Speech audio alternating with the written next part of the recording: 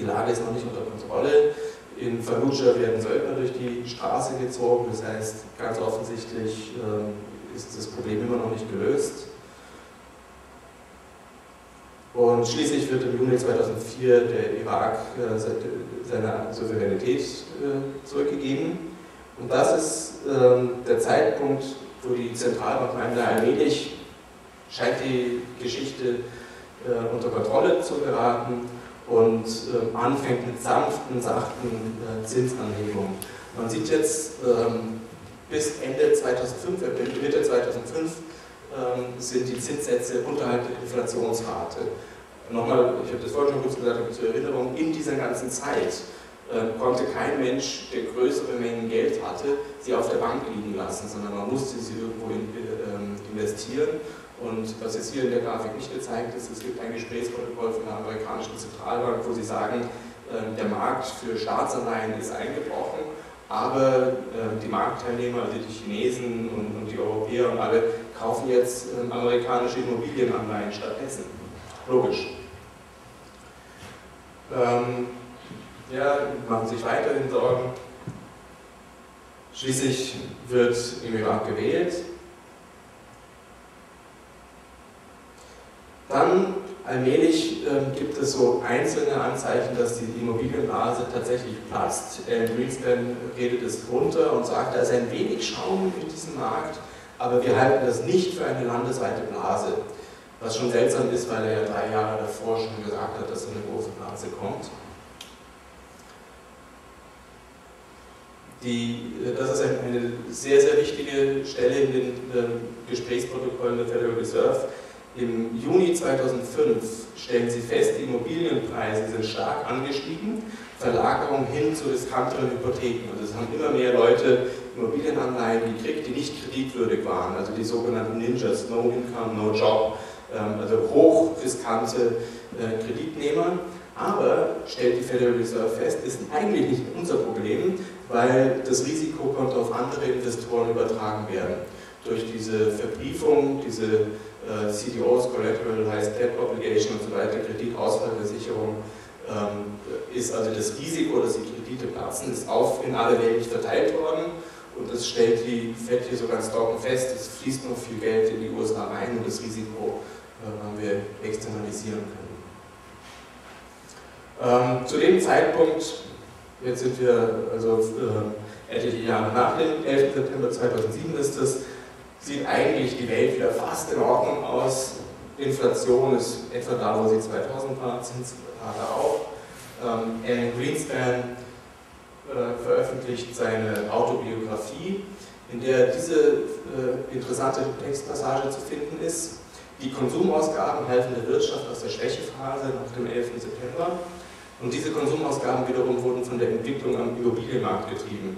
Das ist jetzt so Greenspan zusammengefasst. Ich muss das kurz erläutern, was damit gemeint ist. Ähm, nach dem 11. September ähm, hätte es eigentlich eine, Rezession geben müssen, aufgrund all dieser Terrorgeschichten und, Vorbereitung für den Irak. Diese Rezession hat es nicht gegeben aufgrund der Konsumausgaben, weil die Konsumenten so viel konsumiert haben. Und die wiederum haben viel konsumiert aufgrund der Entwicklung am Immobilienmarkt. Was damit gemeint ist, die Häuserpreise sind gestiegen. Ähm, und was dort tatsächlich passiert ist, die Hausbesitzer, und in Amerika ist, ist, ist der Anteil an, an Privatbesitz da sehr hoch, 65 Prozent haben ein eigenes Haus, die haben, sind zu ihrer Bank gegangen und haben gesagt, mein Haus ist ja bisher nur mit 100.000 Dollar beliehen, aber in der Zwischenzeit ist es 300.000 Dollar wert und ähm, haben von der Bank die zusätzlichen 200.000 Dollar in Cash gekriegt und damit sind sie konsumieren gegangen. Also haben sich also von uns Autos gekauft und von den Chinesen T-Shirts und die haben wir die Immobilienanleihen damit gekauft und damit sind die Häuserpreise weiter gestiegen. Und zumindest diese, diese Geldmaschine, äh, Immobilienblase, hat äh, den USA äh, die, die, Rezession äh, dort ähm, verhindert. Pech für Greenspan war, kaum ist die Autobiografie draußen gewesen, ähm, platzt die Blase tatsächlich. Ähm, Lehman äh, stürzt zusammen und äh, die Zentralbanken in aller Welt müssen eingreifen, damit das System nicht komplett kollabiert. ja, hier nochmal hervorgehoben, weil das ist ähm, wirklich die, äh, ein spannendes Zitat. Ähm, okay, so ging es die letzten sechs Jahrzehnte. Ähm, auf dieser Kurve habe ich mal kurz gezeigt, ähm, was das mit dem Dollar getan hat. Das, man hört ja häufig, der Ölpreis sei astronomisch gestiegen oder die Goldpreise, der Goldpreis sei gestiegen. Ähm, die grüne Kurve ist der Preis von Öl ausgedruckt, ausgedrückt in Dollar. Ähm, unten, das ist schon fast keine Kurve, sondern eine Linie, ist der Ölpreis ausgedrückt in Gold. Seit 1946 bis heute kriegt man für eine Unze Gold 10 Fässer Öl. Manchmal 9, manchmal 11, aber es hat sich sozusagen 60 Jahre nicht geändert. Ähm, nur ähm, man kriegt jetzt gemessen an dem, an dem Ölpreis von, äh, von früher, kriegt man etwa noch 3 oder 4 Prozent von dem Öl für den Dollar, den man davor gekriegt hat. Also es wäre korrekter zu sagen, nicht der Ölpreis ist gestiegen, sondern die Kaufkraft des Dollars ist ins Bodenlose gefallen.